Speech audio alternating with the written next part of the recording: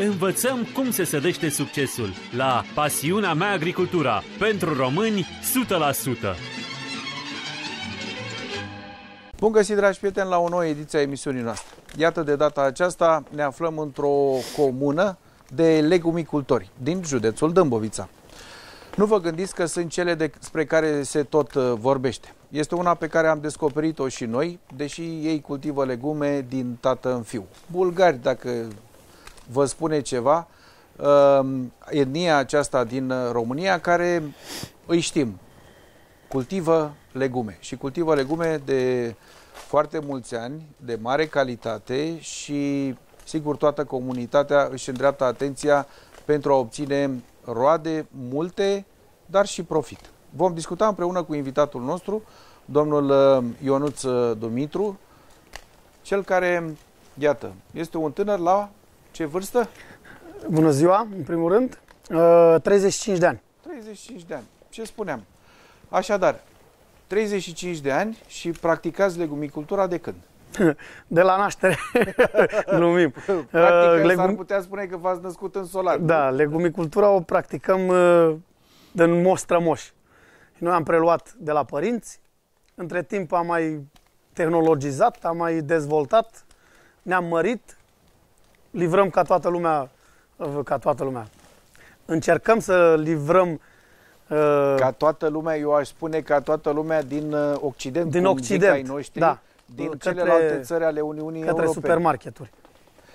Da. Bun, deci din tată în fiu legumicultor, uh, ați început și demarat aici un proces de organizare, de asociere cu alți fermieri. Cu alți producători. Am început uh, de patru ani să facem un grup de producători. Uh, în momentul când am intrat la un, un retailer de supermarketuri, și am început cu doi producători și în momentul de față suntem 26 de producători în grup. Asta se întâmpla începutul când? În 2000? În 2017. 2017. Și practic, iată, în trei ani, ușor, ușor, da, prin ajuns... seriozitate, că exact, până la urmă exact. altfel nu. Exact.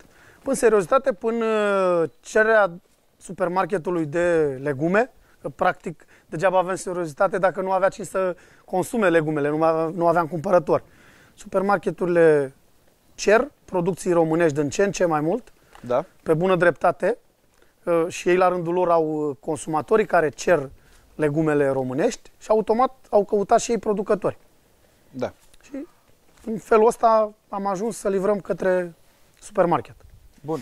Uh, și într-un an de zile, cam ce cantitate livrați? Păi, Ați făcut într-un an de, de zile, într-un an de zile, de exemplu, anul 2020 care abia a trecut, am livrat uh, aproape 1400 de camioane. Uh-huh. Tot anul calendaristic. Camioane, tiruri de legume, fruct, legume. Este mult? Este puțin? Uh, dacă vorbeam în 2017 treaba asta, era un vis. Era un vis frumos? Era un vis frumos. Uh, în momentul respectiv, când am început, livram cu o mașină mică, 8-10 paleți pe zi. Am Acum am ajuns la nivelul... Individual. In, uh, individual. Da, individual. În momentul de față, pe întreg grupul, livrăm undeva la două tiruri pe zi de legume. Ceea ce este... E un salt foarte mare. Cu alte cuvinte, în cadrul grupului și vorbim despre grupul care se cheamă cum? Nu oricum. Așa se cheamă? Da, așa se cheamă grupul. Grupul nu oricum. Nu oricum. Da. Foarte interesant. De unde v-a venit uh, Uh, Ideea de a-i spune grupul nu oricum. E o poveste mai lungă. Haideți să vedem, domnule În Ionuț 2004 uh, erau fondurile cu SAPART, cu fel și fel de fonduri europene. Așa. Și eu eram student la facultate în momentul respectiv. Fratele meu, uh, eu eram anul 3, fratele meu intra anul 1 și începusem ușor, ușor să facem un pic de bani cu legumicultura. Și am stat de vorbă cu tata, ce zicem să Era facem și noi. studenții înstăriți. Studenții înstăriți, da. Uh, ajungeam în oraș, vedeam lumea se plimbă cu mașini scumpe, aveau bani, băi, și trebuie să facem și noi ceva. Și am stat de vorbă cu fratele, cu tata, băi, hai să facem și noi ceva. Și am vrut să facem o fermă de pui. Mergea atunci cu Sapardu, hai să facem o fermă de pui. Am făcut firma, Erau pașii da. care trebuiau urmați.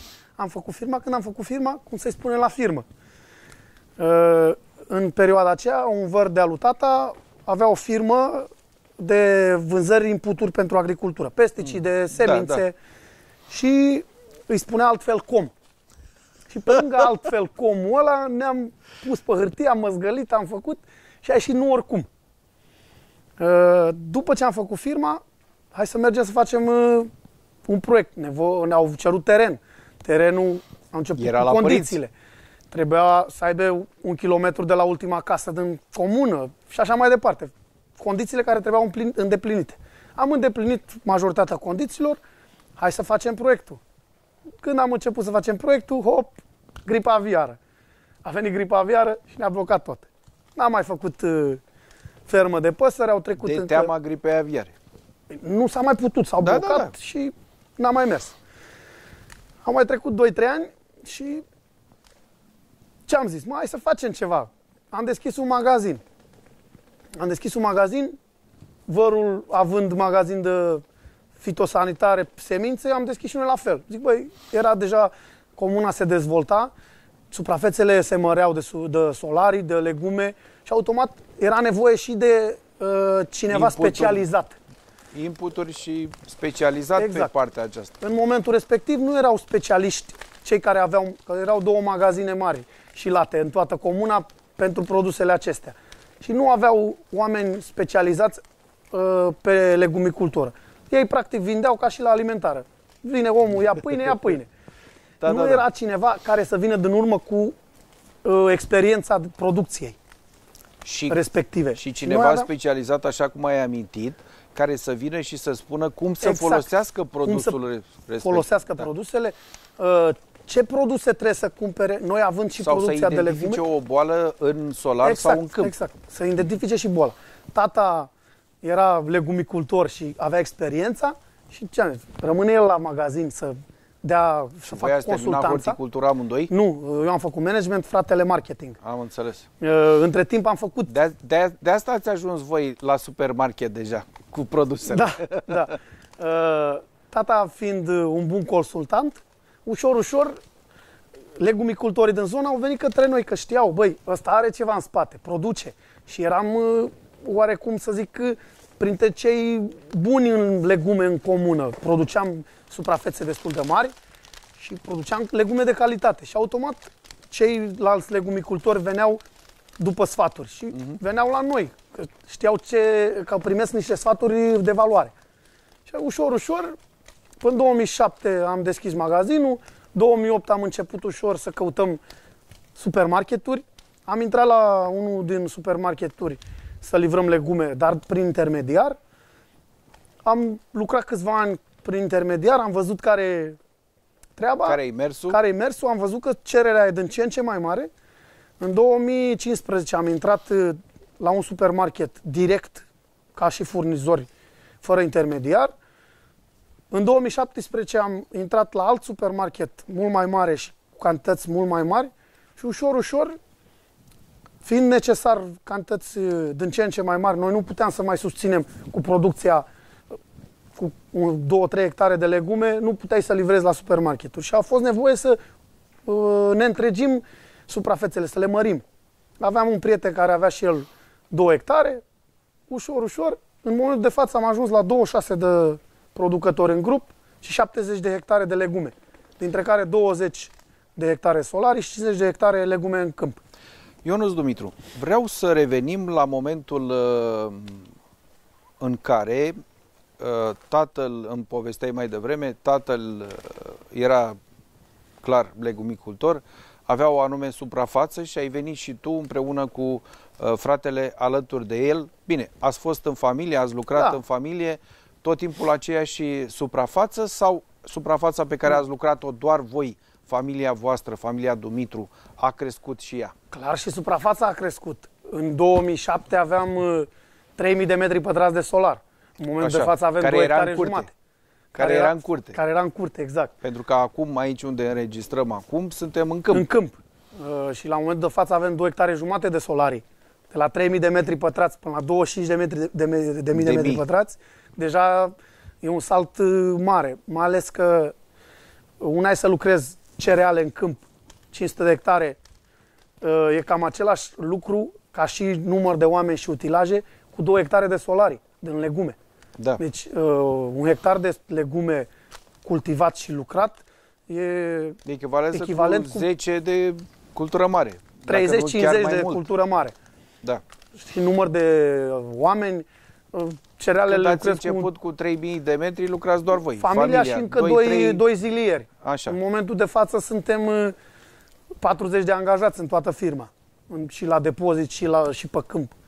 Plus, plus șoferii pe care îi aveți Nu, pentru cu totul, cu, cu, tot. șoferi, cu, deci toată firma am ajuns la 40 de oameni. Și ați ajuns la o flotă de Avem o, la momentul de față o flotă de două tiruri și două camioane mici de nu, nu tiruri și plus uh, cinci uh, dubițe mai care se pot conduce cu beu. am Zicem, înțeles. De 3 tone jumate. De, de 3 tone jumate, da, da. de un tonaj Da. da. mai mic, care fac uh, curse bănuiesc mai scurte. Da, cursele mai scurte la depozitele mai apropiate, București, Mm. Ploiești. Mhm. Depozitele mai depărtate livrăm cu tirurile. Hai să vorbim și despre un alt aspect. Aici, în comuna Băleni, având în vedere că, iată, vorbim de o comună cu activitate legumicolă 100%, mai e și ceva cultură mare, aminteai tu, undeva la 1000 de 1000 de hectare, hectare. maxim.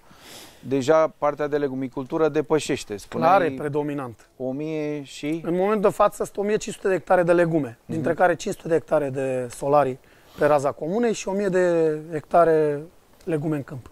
Nu întâmplător întreb lucrul acesta, pentru că în alte bazine legumicole și în partea de Olt și la vecinii din Galați, mai spre La Matca. la Matca, Pleșoiu și partea de Izbiceni, vorbim de aceste Vidra, iată, lângă București, ca și voi. București. Uh, toți și-au dorit depozite, toți își doresc în continuare să se construiască depozite, toți își doresc în continuare să se construiască platforme, piețe deschise unde să vină și să aibă loc aceste tranzacții. Cum vezi tu, uh, iată, ca manager de, îi putem spune deja, de grup mare, uh, aceste dorințe ale legumicultorilor, ale colegilor tăi din sectorul acesta? Uh, Sunt sau nu viabile? sunt, via, sunt fiabile. Uh, Ideea e că degeaba avem dorință dacă nu o ducem la bun sfârșit. Dorința, dacă rămâne la stadiul de dorință, e spulberat. Trebuie să și pui în aplicare. Uh, Ideea e că degeaba am depozitul, că sunt la Matca, de exemplu, uh, și din Matca am uh, un producător în grup. Ei fiind o altă zonă, alt specific, Corect. am avut nevoie și de un producător de acolo. În Matca sunt câteva depozite făcute, construite, dar nu funcționează. De ce? Uh, Oamenii de acolo uh, vând la ei acasă. Au piața în comună. Și automat omul s-a învățat să vândă acolo. Vine intermediarul, că e societate, că e persoană fizică, vine și cumpără de acolo. La noi, dacă în Băleni n-a fost o piață locală, toată lumea a fost învățată să vândă în altă parte. Să plece de aici, din exact, localitate. să plece din localitate. Și majoritatea fermierilor din Băleni vând în piețele din București, în uh, piețele din Ardeal, la angrouri, în uh, majoritatea orașelor din România. Și automat ei au fost învățați să plece de acasă, să vândă și altfel. Corect. Și din motivul ăsta, Băleniu are foarte mulți furnizori de legume către supermarketuri. Și nu vorbim numai de un supermarket. Majoritatea supermarketurilor se aprovizionează din Băleni și din alte zone, dar majoritatea legumelor din Băleni pleacă. Matca fiind o zonă cu piața în comună, omul e învățat, recoltează în căruță sau în mașină, să duce în piață la 500 de metri și vinde acolo. Și de-aia n-au prins acolo super, depozitele. Deși iată și Băleniul se poate spune că este ca și suprafață comparabil cu Matca. comparabil cu matca. Mm, Nu chiar, dar oricum. Ca, ca matca sup- matca e mai mult uh, pe, pe uh, spații, spații, spații protejate. protejate. În momentul de față, la matca sunt Dar undeva dacă, la... ați lua, dacă s-ar lua în calcul și spațiile protejate Da, și câmpul, suntem cu pe acolo. siguranță suntem sunteți pe acolo. Da, da. Băleniu e reprezentativ în România. Suntem în primele patru bazine legumicole. Deci nu e chiar un bazin legumicol mic. Dar ăsta a fost un avantaj. oamenii au știut să vândă și în altă parte mm-hmm. și automat uh, au vrut să vândă și la supermarket. Mulți zic, băi, pe la supermarket nu-ți dă prețul ca la piață. Da, da, ai o stabilitate. Ai o continuitate. Ai o continuitate. Și tu poți să te ocupi până la urmă de treaba producție, ta, care, de producție. Aia care o știi, știi să o faci. Da, da, ai un preț constant. E, asta e marele avantaj. Mulți zic, băi, păi tu ai vândut uh, azi 2 lei roșia și la piața a fost 4 lei. Păi da, da, azi sau săptămâna asta. Dar săptămâna viitoare când prețul cade la piață, eu vând tot cu 2 lei. Dăm un exemplu simplu. Corect. Practic, când faci o contabilitate la sfârșit de an și ai tras linie, băi, ești mai bine. Adică câștigi timp, nu mai stai pe piață să vinzi, că vinzi cantități, nu vinzi o bucată, două. Una e să vinzi către un retailer cu 200 de magazine, care la rândul lui în împarte la toate magazinele, și una e să te duci la piață, la o tarabă, să aștepți 10 clienți. Corect. Automat, ă, când vinzi către ă, consumatorul final, ești limitat ca și producții. Nu poți să produci industrial. Plus că ai timp pe care îl pierzi. Exact. Timpul ca să poți să uh, ții cultura sub control. De boli, de dăunători, de uh, să știi când trebuie să o recoltezi. Să nu se deterioreze. Da. Bun, sigur că noi vorbim uh, aici despre businessul pe care îl desfășurați voi, Ionuț Dumitru, împreună cu ceilalți uh, colegi în cadrul grupului, uh, dar ceilalți ce fac? cum se descurcă? Pentru că, iată, voi ați intrat în supermarket, ei înțeleg că singura lor soluție e să meargă mai departe, adică să se ducă să caute piețe de desfacere. Uh, ceilalți sau uh, mai, mulți... mai întindeți o mână de ajutor și către uh, ei, când aveți nevoie? De regulă noi ne facem planurile pe un an de zile cel puțin. Uh-huh. Adică an de an am uh, cooptat în grup alți producători și alți producători. Și ați căutat calitate? Uh, în primul calitate, rând... Nu, în, în primul, primul rând ce căutăm căutat? omul. Om. Eu știu... Calitatea băi, omului. Exact. Ne cunoaștem că suntem, suntem o comunitate relativ mică. Și automat știi, băi, ăla ce face, ăla ce face, ăla ce om e. Și am căutat să fie oameni serioși. Și uh, după aceea venim cu calitatea. Băi, dacă noi ne strângem și facem niște reguli automat calitatea o să o facem împreună. Ne, ce ne hotărâm, ce hibrid punem, ce, de exemplu la salată, ce soi cultivăm, ce hibrid punem. Băi, păi uite ăsta merge cel mai bine. Iar revenim la consultanța. Știm, având experiența în spate, știm unde trebuie să lucrăm și unde nu. Uh-huh. Și automat căutăm oameni uh, care să accepte când prețul este mic la supermarket și mare la piață, el trebuie să vândă tot aici. Că uh-huh. și se întoarce vremea când o să fie invers. Și automat trebuie să ai oameni, oameni de, de încredere. Am înțeles. Deci este foarte important omul, în primul rând, da. omul care să se țină de cuvânt în momentul în care la începutul anului ați discutat o structură de culturi exact. pe parcursul uh, a, întregului an și care trebuie să aibă grijă să ofere un produs de calitate, de calitate.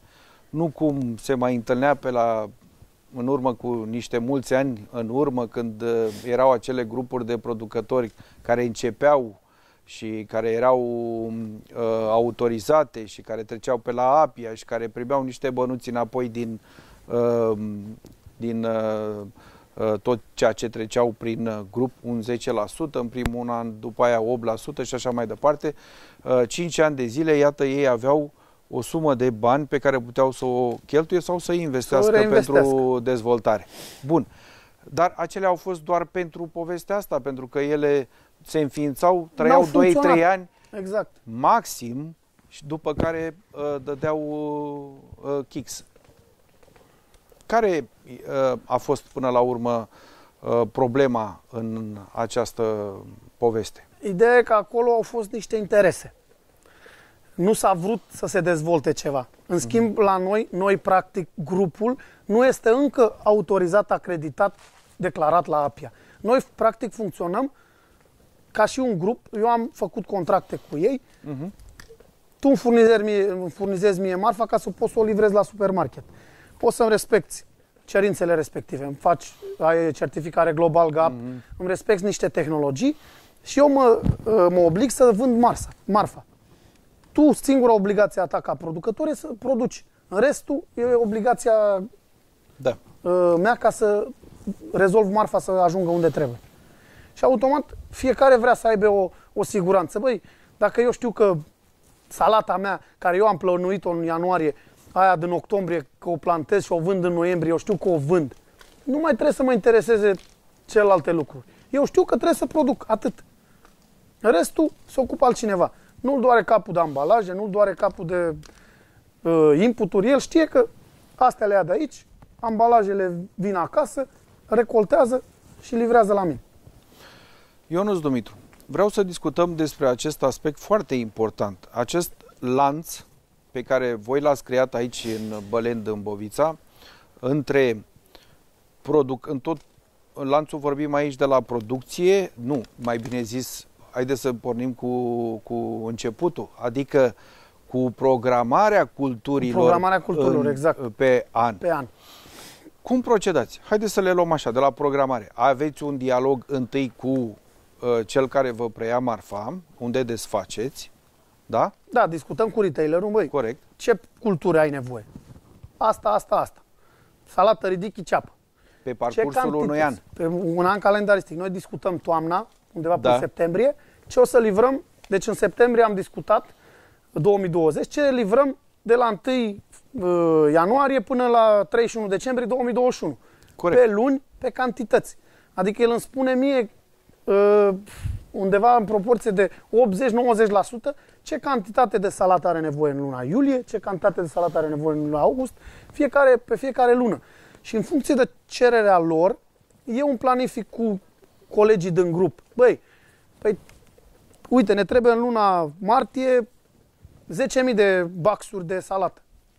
Automat știm, băi, păi 10.000 de baxuri ne trebuie X suprafață ca să producem baxurile alea de salată. Și automat, băi, păi noi Care avem... trebuie cultivată Exact, în trebuie semănată în cu o lună ianuarie. în urmă sau, Sau ca cu să două. poți să o recoltezi În în, funcție aprilie, de în funcție de exact, vreme. de vreme. Și automat având un plan bine stabilit, ai uh, o, un an uh, lejer, ai un an bun din punct de vedere uh, al culturilor. Singura datorie a ta ca producător este să ai grijă de cultură. Nu te mai îngrijești, mai oleo, dacă nu se vinde, dacă vine pandemia, dacă nu știu ce. Există și o discuție, deci în septembrie aveți discuția privind cantitatea pe fiecare uh, dintre da. culturi. După care uh, vine discuția și despre preț. Este și un, un preț mediu la care se discută sau Se discută un preț mediu pe an. așa? în momentele respective. Mm-hmm. Domne, prețul cam ăsta ar fi pe anul viitor. După aceea, cu o săptămână înainte de prima livrare, negociem iar prețurile. În sensul următor. Uh, Supermarketul uh, negociază prețul pe o, pe o săptămână. Uh-huh. Prima livrare duminica, ultima livrare duminica. De duminică până sâmbătă stabilim, domne, stabilim cu ei. La salată îți dau 1 leu 50, dăm un exemplu. Săptămâna asta, asta e prețul. Că urcă la piață, coboară, nu mai avem nicio treabă. Ăla e prețul peste toată săptămâna. De duminică până sâmbătă. Livrez toată săptămâna cu prețul ăla. Săptămâna cealaltă. Poate mai scade prețul, poate mai urcă. Iar vorbim cu ei. Băi, a mai scăzut, a mai crescut. Și tot așa. Pe fiecare cultură în parte, pe fiecare săptămână. Da. Cam astea sunt cu, și cu prețurile. Prețurile ca prețurile. Vinzi, produci, desfaci. Bănuții când intră. Și Uh, cum faceți aici? Până... Că întotdeauna de aici au ieșit Totul e până la povești, bani. Totul e până la cum bani. zice românul, totul până la bani. Corect. Uh, Până în toamna 2020, banii intrau la șapte zile de la facturare. Mhm. Adică eu livram marfa astăzi, mâine supermarketul îmi trimitea pe mail o notă de recepție, în funcție de nota aia de recepție ce am livrat eu, facturam. De la facturare, în șapte zile, lucră, în șapte zile calendaristice, nu lucrătoare, șapte zile calendaristice, ei îmi virau bani în cont. Automat, când virau ei bani în cont, și eu la rândul meu viram, videz banii către ceilalți producători. De, din toamna aceasta s-a schimbat un pic legislația și banii se virează la 15 zile. Deci, Era în un- loc să vină să bunătățească, mai rău s-au înrătățit. Uh, ei, adică, ei, practic, vreau să țină tot la șapte zile, dar o legislație actuală... Dar nu obligă pe nimeni să nu plătească mai devreme. Uh, De ce am 15 înțeles zile. eu e cam uh, nu prea au voie sub 15 zile. Da, în Mă rog, fine, asta e, e o chestie, o chestie de noutate pe care ar trebui să o legislativă. studiem un pic mai... Da.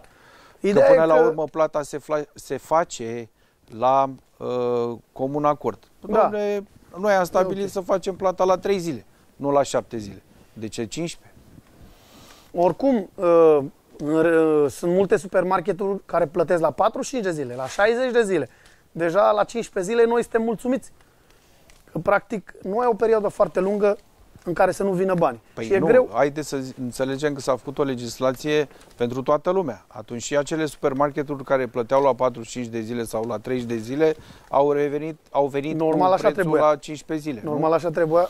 Acolo nu pot să vă dau Păi amănunte nu, că nu iarăși, știu. iarăși ne Da, gândim iar la intrăm în- povestea asta, înseamnă că legea nu este pentru toată lumea, ci fiecare, până la urmă, un acord comercial, un contract comercial Da. între noi doi. Noi stabilim când se face plata. Da. Nu trebuie să vină cineva și să... Probabil că la minim 15 zile așa se stabilește acolo. Asta nu înseamnă Da. că, în fine, nu poate să plătească mai devreme dacă dumneavoastră așa stabiliți. Da. Ideea e că se țin de cuvânt. Adică dacă ți-au zis, băi, la 15 zile ți-am băgat banii, intră banii. Corect. Și nu sunt probleme. Aia e cel mai important. Până la urmă, disensiunile care au apărut între producătorii de aici au pornit. La faptul că uh, banii au venit foarte târziu Da, și și atunci asta e o legumicultorul când se duce în piață știe, a vândut un kilogram de Și-a luat ceapă bani. și a luat bănuțul, l-a Exact, băgat în buzunar. exact. Despre asta este vorba. Da. Bun. Sigur că în uh, toată această poveste uh, există și o impozitare. Sunt și dări pe care voi în grupul, Clar. nu oricum, în firma Ca voastră, orice societate trebuie să plătiți plătești și și dări. TVA, taxe și impozite, clar. Fiecare din grup este societate comercială, Făcută. II, SRL. PFA, II, PFA, da, toată lumea. S- singurul Este- SRL sunteți voi. Nu, suntem uh, mai multe SRL-uri, nu suntem numai nu, noi. nu, nu numai voi. Da, nu numai Am noi, înțeles. suntem mai mulți producători SRL-uri. Dar uh, toți sunt fiscalizați. Adică nu pleacă o salată fără... Că automat, neavând acte, n-ai cum să-ți primești banii. Corect. Eu, la rândul meu, trebuie să facturez ca să pot să încasez banii. Da. Ionuț Dumitru, vreau să discutăm despre uh, calitate, pentru că am înțeles că grupul vostru este certificat, adică voi Da, sunteți certificați, uh, lucru care n-aș putea să spun că l-am întâlnit prea mult pe la, prin bazinele noastre uh, legumicole. Cum ați reușit să faceți treaba asta? Uh, Pentru că până la urmă, pe, practic- ca să intri într-un supermarket, da, trebuie certificarea î- practic îți deschide, Îți deschide ușa. ușa. Uh, când am început să livrăm, nu am avut certificare. Dar ușor, ușor, retailerul a avut niște cerințe. Ne-a spus, vrei să livrezi către mine, îți trebuie mașină cu temperatură, frigo, uh, cu temperatură controlată, mașini frigorifice. Vrei să livrezi către mine, trebuie să vii cu marfa paletată pe paleți euro, trebuie să vină pe uh, ambalaje standard, nu ambalaje refolosite, nu uh, o lădiță de un fel, o lădiță de alt fel. Sunt niște cerințe ale lor. Și obligă, uh, automat, ca să livrezi, trebuie să le respecti. Și practic ei ne-au și civilizat un pic, ca să spun așa. Știi că trebuie să livrezi într-un anumit fel. Și ușor, ușor, după primii doi ani, au venit și cu certificarea asta. Mm-hmm. Domne, vrei să livrezi către noi de acum încolo? Te certifici Global Gap.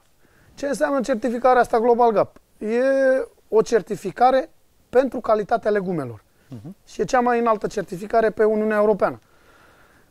Uh, având certificarea asta, noi Care practic... o face un organism independent se- privat. Da, exact. Nu- Nu... E un, uh, o, o societate, sunt de Da. fapt sunt mai multe în România, care asta fac, certifică producători de legume uh, și verifică. Anual se face un audit, vin uh, inspectori care verifică la fața locului și și ești ce monitorizat. se verifică, adică? Și ce se monitorizează? Se verifică uh, situația fermei, Mhm. curățenia în fermă, uh, dacă folosești cum trebuie și cum ai, uh, trebuie să folosești pesticidele. Sunt niște cerințe stricte. Uh, La toate astea se adaugă și analize analize de reziduri. suplimentare pe care le faceți voi în Exact. momentul în care duceți un lot Exact. de legume Exact. la... Pe fiecare an, noi ca și producători, avem obligația să facem analizele la apă. La apa care o folosim, la irigat și la spălat. de trei ori pe an, analiza microbiologică și fizico-chimică, analize de sol, o dată pe an, și analizele de reziduri. Analizele de reziduri le facem în felul următor. Înaintea livrării către supermarket a produsului, nu putem să-l livrăm până nu avem analiza de reziduri.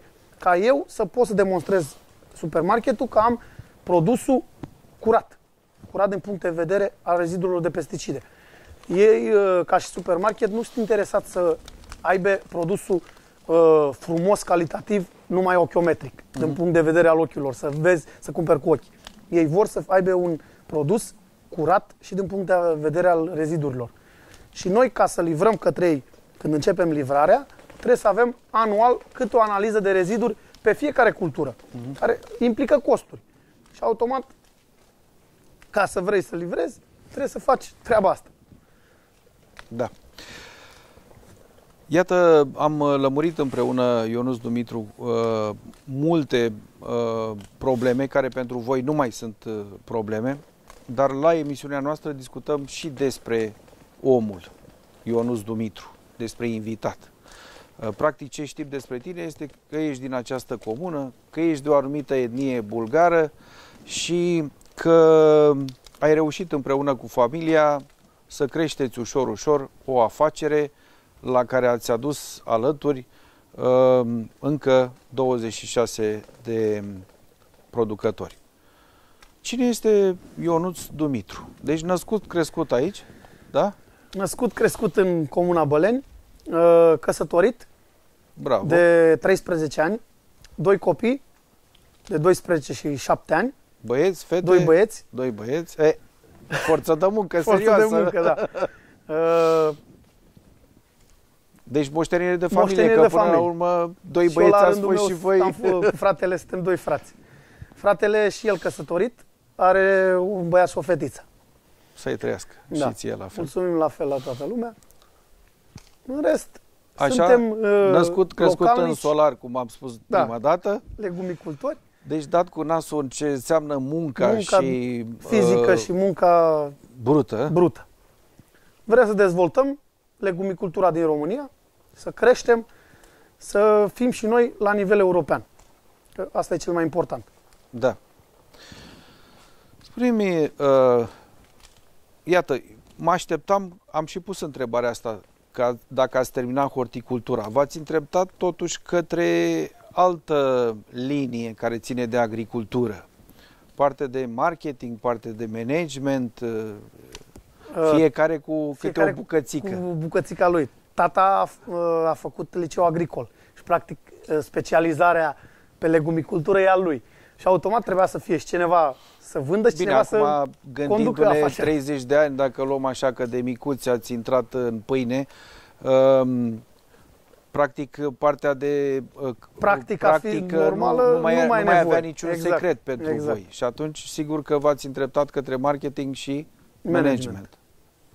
Ce v-a adus nou în uh, gândire facultatea?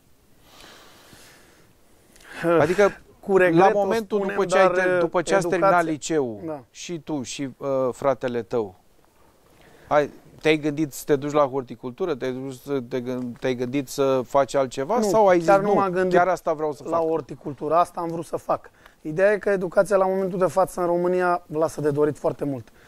Orice student, orice elev, orice copil la, de la grădiniță în- până la facultate, în școală nu mai înveți mai nimic. Mhm. Învățătura o faci după școală. Practica. E și vorba românească. Da. Teoria ca teoria, practica nu moară. Toată lumea, când termină o școală, nu știe să dă cu piept de, de, de zid. Nu știe ce trebuie să facă. Și la noi la firmă, când vin oameni să se angajeze, ce știi să faci, ce studiai? Păi am studiat cu tare, am făcut cu tare. Și îl pui să facă un lucru, Nu știe. se uită cam în calendar. Mhm. Deci, Da, uh, da, suf- pretențiile, pretențiile sunt sunt mari. mari. Pe bună dreptate, că toată lumea avem pretenții, dar uh, problema este că sistemul ne-a adus în stadiul unde suntem și educația unde este. Și trebuie umblat foarte mult acolo. Că degeaba spunem că avem atâția studenți, atâția ingineri horticoli. Uh, am avut cazuri și știm, lucrând în branșă, sunt ingineri de la horticultură care termină facultatea și nu știe nimic îi spui, băi, uite, asta e, sau să-l întrebi, ce e asta? Plantă. Nu știe că e salată. Deci, uh, multe uh, chestii infime. Eu dacă... Ce să mai întreb? Ce tratamente trebuie da, să dai la vorbim salată? de SF, vorbim de lucruri da, grele. ideea este așa și vorbeam de multe ori, nu numai cu tine, uh, îmi place cum gândești lucruri, uh, că, că gândești în felul acesta și vorbeam cu fermierii mult mai în vârstă și care spuneau în felul următor, uh, domnule, n-am nicio problemă că, iată, în studenție sau după ce termină facultatea, nu sunt foarte fini cunoscători ai Clar. amănuntelor, ai detaliilor. Dar măcar să aibă voință să învețe.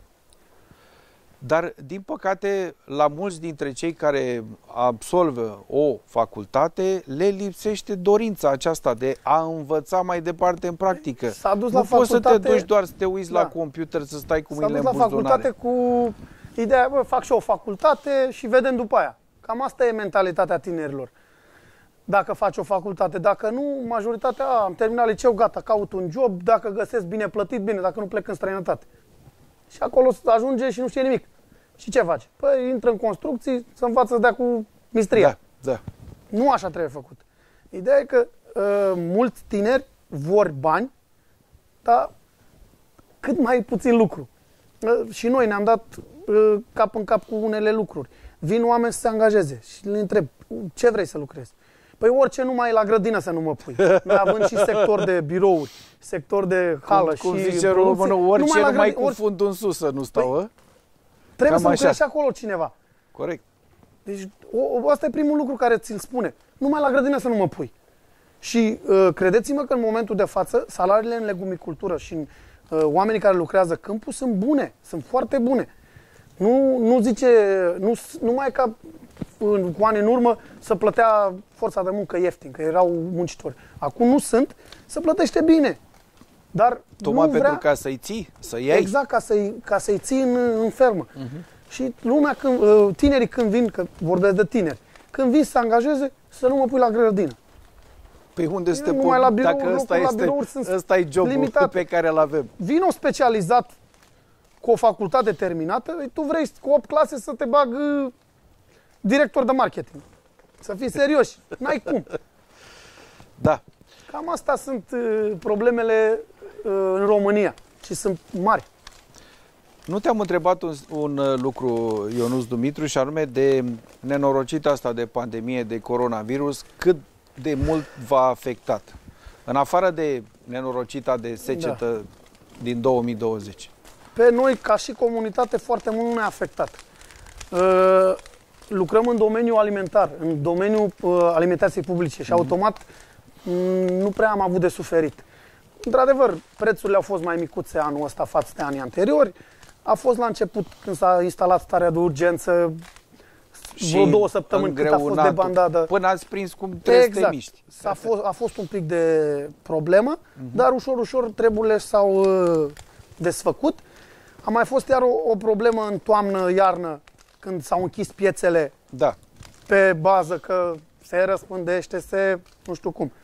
Și legumicultorii au avut foarte mult de suferit. Aveau producția strânsă de pe tot Da. parcursul anului uh, Au venit și recoltată. temperaturi Au foarte venit temperaturi scăzute, scăzute, atunci. și omul nu mai avea unde să vândă marfa. Și a fost în perioada aceea, toată lumea venea la mine, băi că vreau să vând și eu la supermarket. Păi stai așa că nu e așa. Că nu poți să vinzi gata acum. Că- Ca să te certifici, să ajungi, faci niște uh, tehnologii, trebuie să treci pe niște pași. Nu pot să iau eu marfa de la tine necertificată, că n-am voie. Nu am cum. Și a fost un pic un șoc atunci, perioada noiembrie-decembrie. Lumea a fost un pic blocată cu legumele. Da. Dar ușor, ușor, lucrurile și- și-au revenit la normal. Ceea ce este foarte important de discutat uh, cu tine, pentru că ai experiența aceasta și știi foarte bine uh, cât se investește, cât se scoate, cât îți rămâne. Uh, n-aș vrea să-mi spui la 2500 de metri pătrați. Haideți să ne gândim la 1000 de metri pătrați sau 1500 de metri. Cum ți-e mai ușor? Uh, care este investiția și cât ți-ar putea rămâne după un an, așa cum aminteai tu, o structură de culturi de 3, 4, 5, cum ai aici, 5 culturi într-un an, bine organizat, cu desfacere asigurată, 1000 de metri pătrați, cam cât ți-ar aduce ca venit? Bine, cu efortul N-am rigoare. făcut socotele așa exacte la, pe suprafață. În mare parte, Dar ca în mare, și, la hectar, ca la și venituri, cum le ai? uh, peste investiții uh, deduse toate cheltuielile, îți rămân undeva la 30-35% procente ca și profit. Din cheltuială. Din ce uh, înseamnă o investiție pe o, o cultură. Mhm. Ceea ce este mulțumitor. Este foarte mulțumit. Este mulțumitor, uh, este muncă foarte multă, brută, dar dacă ai tras linie și ești pe plus, E bine. e bine. Spune-mi, te rog, ce ai sfătui uh, tu, tânăr uh, uh, fermier, bine, dar cu experiență foarte mare, ce ai sfătui pe tineri, pe cei care vor să se apuce de o treabă ca aceasta? Uh, nu Ce e ar, ușor. ce, ar, ce ar trebui să aibă mai întâi de toate? În primul rând trebuie să ai terenul, pământul. Corect, Degeaba vrei să faci Proprietatea. legume dacă nu ai pe ce să-l cultivi. corect. Și să Uh, fie al tău pentru că trebuie să investești. Ca să poți să faci o investiție mai mare, de exemplu construcția unui solar, să faci uh, o investiție ca aceasta, trebuie să fii proprietar. Că investiția la un solar e undeva la între 10 și 12 euro pe metru pătrat construit. Și ca să faci pe o suprafață de 2000 de metri pătrați un solar, e o investiție foarte mare. Mhm. Și nu poți să faci pe terenul altcuiva. Că Corect. oricând poate să te dea afară de pe acel teren. Dacă ești proprietar, ai un teren de la bunici, de la părinți, de la oricine, poți să faci treaba asta. Dar trebuie să ai și ceva bănuți. Au fost și la noi sunt persoane care au fost în străinătate, au făcut ceva bani, au venit și au investit, au văzut că comuna s-a mișcat. Ce a zis? Băi, păi toată lumea face, hai să fac și eu. Și am mai făcut un solar. Și a făcut o, o casă, și a Da. făcut, și-a cumpărat o mașină, O mașină. dar nu de azi pe mâine. Da, nu de exact. anul ăsta pe anul viitor. Da. În timp. uh, investiția într-un solar, nu, nu poți să spui că, băi, fac solarul, gata, într-un an de zile am scos banii. N-ai cum. Că Deja n- vorbim de investiție pe termen lung. Trebuie să uh, insisti, să muncești ca să poți să... Că poate Ai cultura, că poate cultura nu dă roade în primul an, că poate scapi o boală, scapi, Scapi un o boală. dăunător. Nu, fiind începător, nu știi cu ce să tratezi, nu, nu știi ce să cultivi mai bine. Nu- Sau poate nu ai piață de desfacere. Dacă nu le ai pe toate într-un uh, cerc, ceva dacă e întrerupt, nu se continuă cercul. Câți ani trebuie să-ți iei ca marjă până să ajungi să ai profit? Doi ani, trei ani? Măcar trei ani. Măcar trei Măcar ani. trei Deci ani trebuie să să-ți poți să faci treci. un Da, calcul da, pe trei da, ani cel da, puțin da, da. când te-a pus să faci o investiție. Adică să poți să scoți și bănuții pe care i-ai băgat în... Păi am avut un uh, producător în grup până în anul 2020, care a fost uh, angajat la o te- companie de de telefoane.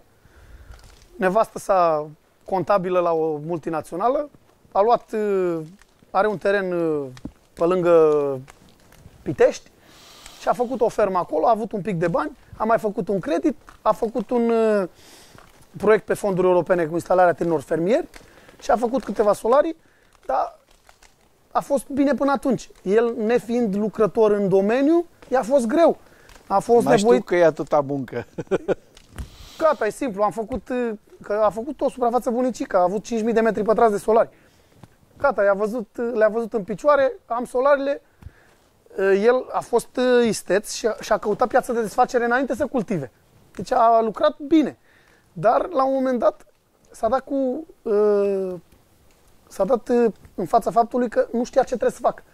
Și l-am sfătuit, i-am spus, băi, uite așa trebuie să faci, așa să copilești, l-am învățat, dar la un moment dat am zis, băi, că să câștigă foarte puțin bani. Păi, tu crezi că gata, trebuie să aștepți câțiva ani? El stătea cu gândul, gata, face bani Fac- imediat, în 2 fac- ani, îmi, îmi rămân zeci de rămân mii de zeci de euro, mii de euro. pe, Nu a- e chiar așa. pe an. Nu e chiar așa. Adică e susținută investiția, după ce am făcut investiția, de o muncă în spate. Și nu o muncă de 8 ore pe zi, cum Corect. sunt obișnuiți majoritatea Sau oamenilor. chiar mai puțin. Sau chiar mai puțin. Să lucrezi 8 ore, 4 zile pe săptămână. Nu e chiar așa. În producție de legume trebuie să fii implicat 6 zile din 7, 12-13 ore din 24. Învățăm cum se sădește succesul la Pasiunea mea agricultura pentru români 100%.